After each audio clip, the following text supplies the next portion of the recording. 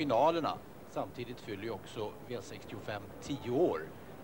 Klass 2s final heter Rodettos lopp. Det var Rodetto som vann det första V65-loppet. Favorit här är nummer 9 Speedo Hammering. Speedo Hammering står i tre gånger pengarna, alltså på en satsad 10 får man tillbaks 30 kronor. Speedy Hammering körs av Thomas Nilsson och Thomas kan bli dagens nyckelkusk. Han har även sen Legolas och Super Gary med. Först ska vi se om man kan vinna med första favoriten, nummer 9, Speedo Hammering. Där kommer vi iväg efter en omstart. Och det är nummer 6, Lavinia Speed, som eh, mycket enkelt får ledningen tycker jag. Så galopperar nummer 7, Partisanen. Då blir det mycket struligt bakom. Fint fram kommer nummer 5, White Time. Så galopperar också nummer 10, Elisam. Då vart det struligt i den första kurvan. Som tredje häst följer sen nummer ett Nobel Knight. Och då är det nummer två Nobel Prince som försöker komma upp i positionen andra utvändigt. I det tredje paret. Sitter sen invändigt nummer åtta Born to Run. Och utanpå den har vi då favoriten nummer nio Speedo Hammering så övertar nummer 5 White Time ledningen och man kör första 500 efter 1.20. Inte allt för våldsamt tempo. Jag tycker till och med det går ändå långsammare nu när nummer 5 White Time och Carl-Gösta Fylking har fått ledningen. Nere i kön ger sig nummer 11 Bianca Spinn iväg.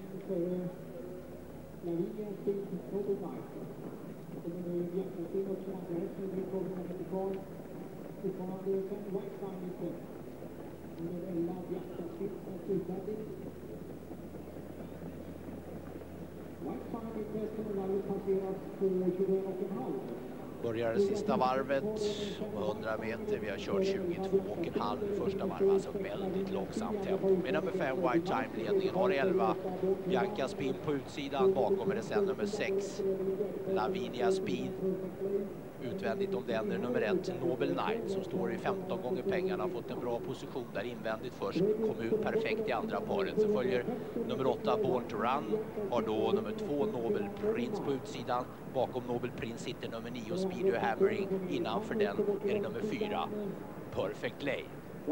Fortfarande ingen attack ifrån Speedy Hamming inre attack istället för nummer ett Nobel Knight som går ganska så fort men nummer fem White Time har ju inte behövt hållt något hårt tempo så jag har svårt att tro att de ska kunna slå honom på kort speed. Han har imponerat på slutet. Första 500 på sista varvet går efter en 19. Nu är det attack ifrån nummer 9 Speedy Hammering. Långt, långt, långt ut i banan. Han har en par, tre längder fram till den ledande nummer 5 White Time och nummer 1 Nobel Knight. Born to Run, nummer 8, glider ut i tredje spår och attackerar så sticker eh, White Time men det är Speedy Hammering långt ut i banan som kommer fort när det är 100 meter kvar har nummer 9 Speedy Hammering och Thomas Nilsson kopplat segelgreppet. Tvåa blir nummer 5 White Time och trea kommer att bli nummer 1 Nobel Nine. Alltså nummer 9 Speedy Hammering, Thomas Nilsson, dagens första V65-vinnare. Ordningsföljden läst av eh, Bosse Blomqvist, men här kommer den i repris. Etta nummer 9 Speedy Hammering, tvåa nummer 5 White Time och trea nummer 1 Noble Knight. Vinnaroddset 3,28 och platsutdelningen var 14 26 28. Omsättningen idag är 27,67 miljoner och så går vi till avdelning 2. V65 2, stordivisionens final. Loppet kallas för Master Keys lopp. Han vann alltså det andra V65-loppet för tio år sedan. Favorit är nummer ett, Eka Skott till 2,90, 29 kronor tillbaks på en spelad 10 med andra ord. Men vi vet ju sen förut att stordivisionen kan vara lite luriga. Här brukar det komma en och annan sensation. Mm. Kommer iväg i det första försöket. Det är galopp för nummer tre Donna Coach. Men det är nummer ett Eka Scott, som har ledningen och före nummer två Early Crazy. Snabbt upp som tredje häst är nummer sju Tati. Så är det nummer åtta Alice Kvickop som fjärde från sitt tillägg. Som fjärde häst invändigt är det nummer fyra Windu Express. Femte paret invändigt 12 Maria Gertzu med nummer 5 Aggie Bulwark. Så följer också 13 Afresh som håller på krigar om position där nere, nere i kön. Första 500 efter en 24. Sista varvet börjar då med nummer ett.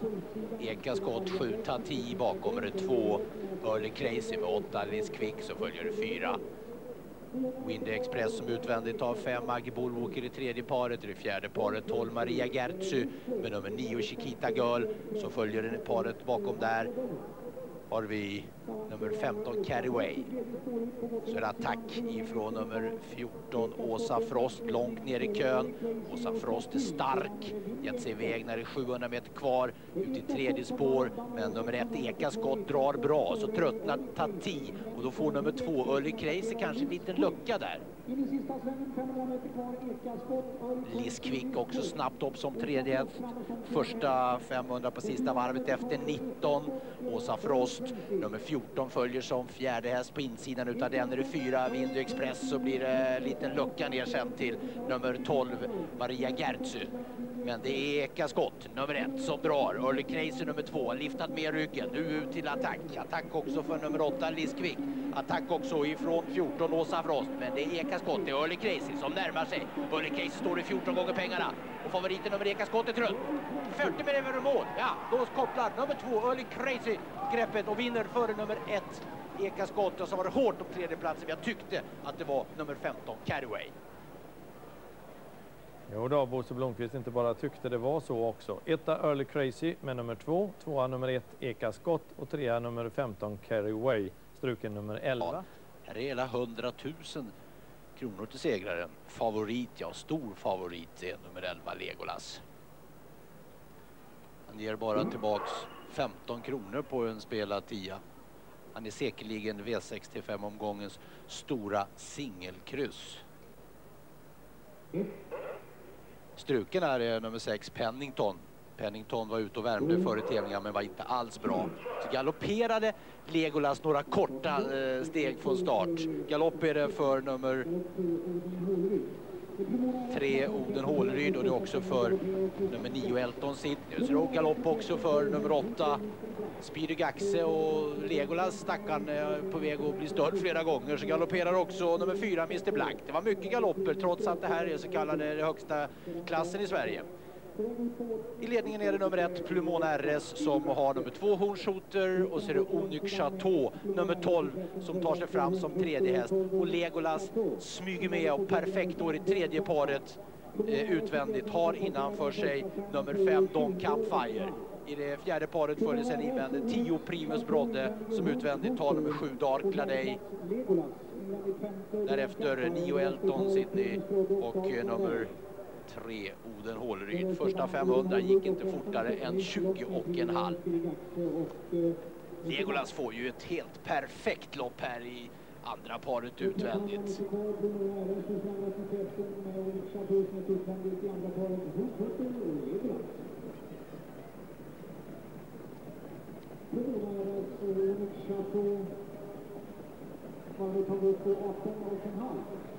så är det 1100 meter kvar. 18 och en halv första varvet. Primona drar nu mycket hårdare nummer ett. Har nummer 12 Onyx Chateau på utsidan. Bakom följer i andra paret nummer två Hornshooter med nummer 11 Legolas på utsidan. I tredje paret 15 Campfire som utvändigt tar 7 Dark Laday. Så följer Primus Brodde nummer 10 i det fjärde paret. Har på utsidan 3 Oden Årryd. Därefter följer sen också nummer 9 Elton Sidney. Legolas alltså perfekt i andra paret utvändigt och ingen stöter ju bakifrån så Thomas Nilsson behöver inte alls känna sig manad att ge sig iväg ännu. Det är 550 meter kvar med nummer ett Plumon RS och det är Onyx Chateau som trycker på utsidan. Första 500 på sista varvet efter en 17. Kommer första attacken, det är från Elton Sidney. Nu måste i så fall Legolas kliva ut på det andra paret utvändigt för att inte bli fast. Nej, Elton Sidney når inte riktigt fram. Eh, Don Campfire invändigt backar nu ut emot Legolas för att följa med Legolas. In på upploppet är det Legolas till attack i tredje spår och så är det Plumon RS som rycker, försöker skaka av sig Legolas men det är inte så lätt för mitt i banan i tredje spår är det Legolas som får greppet. Eh, Thomas Nilsson sitter relativt lugnt.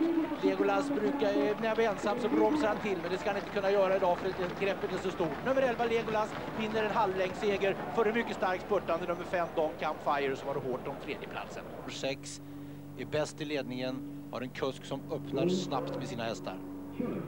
Perfekt start. Det är en mycket snabb start utav just nummer 6 Villevi och nummer 4. Och så galopperar nummer 6 Villevi, favoriten. Det stod i två gånger pengarna. Då blir det istället nummer 4 Martina Jenki. Och utifrån kommer snabbt nummer 7 Gide Born. Så blir det Gide Born då till ledningen.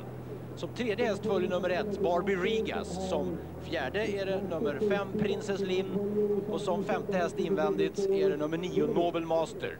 Nobel Master har på utsidan nummer två King Glasgow. Så försöker nummer sex Villevi ut i tredje spår. Första 500 mycket snabba en 17. Sista varvet börjar med nummer sju, Tideborn i ledningen. Nummer ett, Barbie Rigas på utsidan. Nummer fyra, Martina Jenki. Eh, invändigt i det andra paret har Princess Linn, nummer fem på utsidan.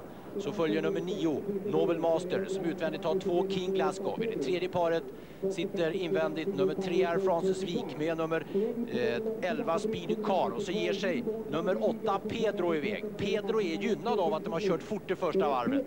Bakom Pedro försöker nummer 6 Villevi följa med. Där följer sen också 10 Palle och 12 Pretty Pride. Men det är nummer 1 Gidi Born. Gidi Born har tryck utifrån av nummer 1 Barbie Rigas. Det är Martina Jenki, nummer 4 som sitter perfekt i vinnarhålet. Har på utsidan nummer 5 Princess Linn. Första 500 på sista varvet efter en 18. Och som femte häst är det nu nummer 8 Pedro. Men Gide Born, nummer 7, fortfarande greppet Barbie Rigas, nummer 1 på utsidan. Men som har mycket krafter kvar är nummer 4 Martina Jenki. Men ska hon hitta en öppning, kan bli det kanske när Princess Linn inte kan gå med när det är 100 meter, 150 meter kvar. Och så långt ut i banan kommer nummer 12, eh, 10 Pallu. Och mellan Pallu är det sen 12, 11 Speedy Car. Men det är Pallu, nummer 10, som spurtar till seger ganska så lätt före nummer 11 Speedy Car och trea blir nummer 7 Gidi Born. Vinnarens final. Favorit nummer 12 Super Gary och Thomas Nilsson. Ska Thomas ta sin tredje dagsseger inom V65? Mm. Galopp blir det för nummer två Doris Pärup och galopp blir också för nummer fyra Expert Will. Det har varit en strulig start. Galopp för åtta Spiro Algot och nummer nio Garry Ski. Till ledningen blir det då nummer tre Malcolm. Och Malcolm får bakom sig nummer ett Grevebrunn. Som tredje häst följer vad gör han i ledningen nu? Springer hästen ut? Ja, Malcolm sprang rakt ut i ledningen. Det var en konstig situation. Ja, han återfår ledningen. Ja, det var en konstig situation. Malcolm, alltså den ledande hästen, sprang rakt ut. Han är i ledningen ändå nu. De öppnar första 500 efter 1.21. Andra häst är nummer ett, Grevebrunn. Tredje häst är det sen nummer fem, Egos Pride. Innanför den, bakom den, följer nummer 11, Petit Boy så är det nummer sju Star of Jota som tar sig upp som fjärde häst. Bakom den smyger nummer sex Cool Pride och bakom Cool Pride ute i fjärde paret är det nummer 12 Super Gary. Innanför Super Gary är det nummer 10 Victory Glow.